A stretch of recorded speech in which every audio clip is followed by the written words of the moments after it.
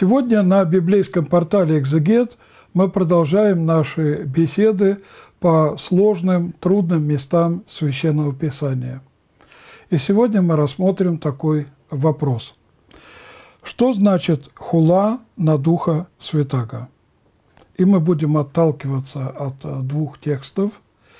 Это Евангелие от Матфея 12.32. Мы прочитаем в контексте 31-32 и текст послания к римлянам 5.5. Итак, сначала я читаю Евангелие от Матфея. «Посему говорю вам, всякий грех и хула простятся человеком, а хула на духа не простится человеком. Если кто скажет слово на Сына Человеческого, то есть на Христа, простится ему – если же кто скажет на Духа Святаго, не простится ему ни в всем веке, ни в будущем. Что такое хула на Духа Святаго? Конечно, мы можем найти у древних экзегетов разные объяснения. Но чтобы нам лучше понять, что это такое, мы прочитаем апостола Павла, послание к римлянам 5.5.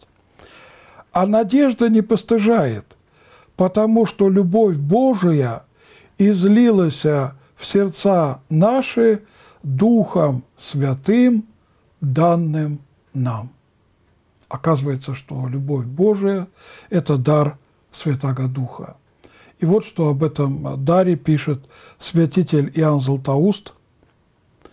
«Павел не сказал «дана», но излилась в сердца наши любовь, указывая на изобилие, Бог даровал нам величайшее благо, даровал не небо, не землю, не море, но то, что драгоценнее всего этого, Он соделал людей ангелами, сынами Божьими, братьями Христа.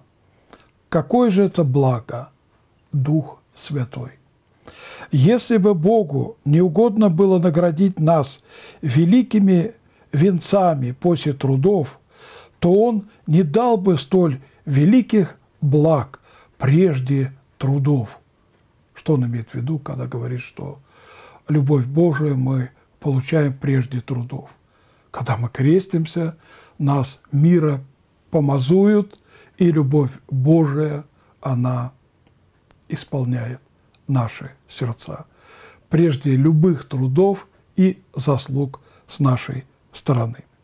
Златоуст продолжает. «Ныне же сила любви его открывается из того, что он незамедленно и немало-помалу даровал нам почести, но вдруг излил весь источник благ, и притом прежде совершения подвигов. Потому, хотя ты и не очень достоин, не отчаивайся, ибо имеешь своим великим защитником любовь судьи. По этой причине и апостол, говоря «надежда не постыжает», все возложил не на наши заслуги, но на любовь Божию. Конец цитаты.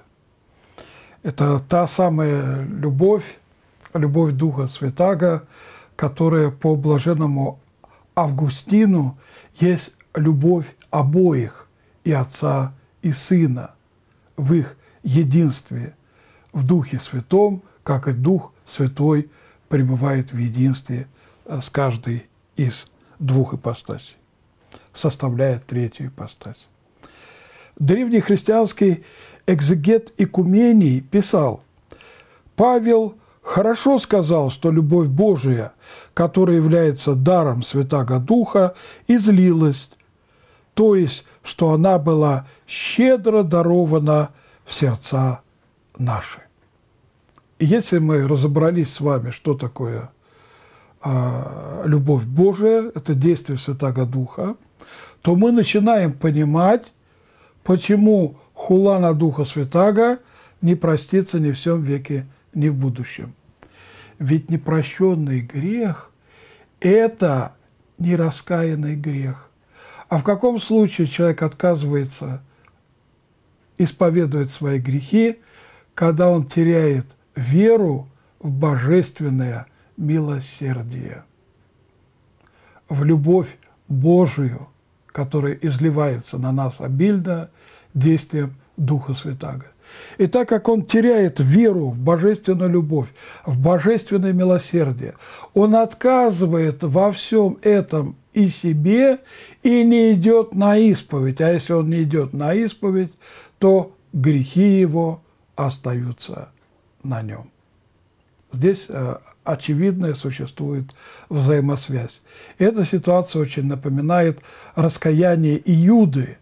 Если о раскаянии апостола Петра сказано «раскаялся и заплакал», это были слова, э, это были, точнее, слезы э, покаяния перед Богом, то о Иуде сказано «раскаялся, пошел и удавился». То есть его раскаяние было перед самим собой, и он потерял веру божественную любовь и милость, а это уже есть хулан на Бога, ибо сущностная природа Бога – это любовь, как и сказано, Бог есть любовь. Итак, друзья, мы сегодня рассмотрели еще один из э, вопросов. Подписывайтесь на библейский портал «Экзегет», чтобы вам вовремя получать информацию о новых беседах и берегите себя.